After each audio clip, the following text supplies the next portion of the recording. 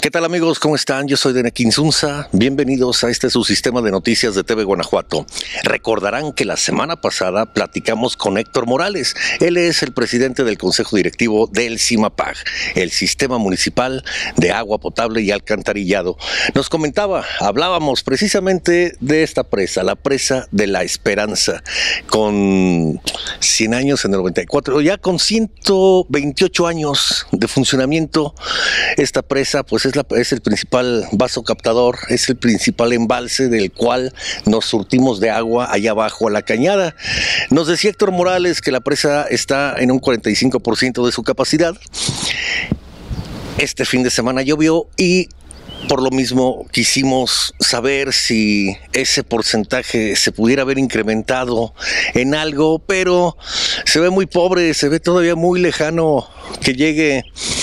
Seguirá en ese porcentaje, lo más seguro, ese 45%, le falta bastantito para que llegue a la mitad y para que se llene en su totalidad, pues no solamente hacen falta lluvias, sino que incluso ya está algún milagro, porque recordemos que todos los años, todos, todos los años terminamos reportando la problemática del agua, el hecho de que existe una crisis hídrica que no, pues que sí se está tomando en consideración, que sí se analiza, que sí se diagnostica, pero en términos de práctica, en términos de acciones, seguimos desperdiciando el agua, seguimos sin cuidar este recurso muy necesario, pero todavía tenemos chance de poner nuestras barbas a remojar porque todavía tenemos agua y se lo digo por el asunto de Nuevo León.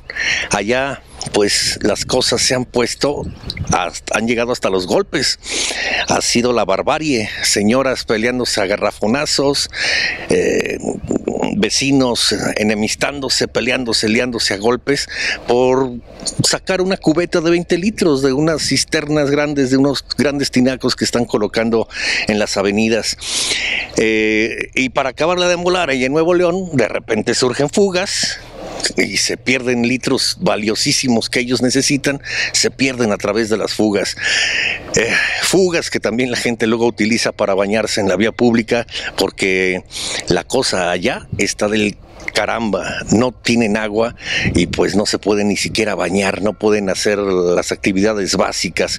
Y eso es algo que debe de servirnos a nosotros de experiencia para que no nos suceda, no dejemos que eso suceda.